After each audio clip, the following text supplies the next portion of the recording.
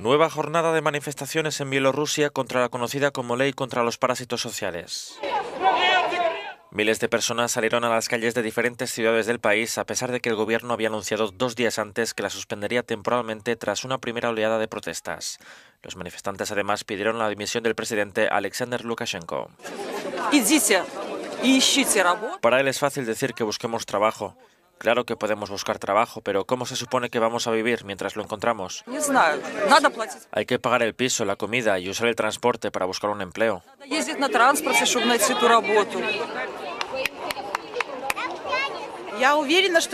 Estoy segura de que si todos nos unimos vamos a cambiar el gobierno y todo irá mejor. Si en el futuro tenemos miedo, nuestros hijos también lo tendrán. La gente tiene que salir a la calle.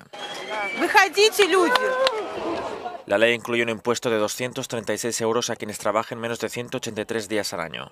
Quienes estén inscritos como desempleados deben prestar servicios comunitarios por unos 8 euros y medio al mes.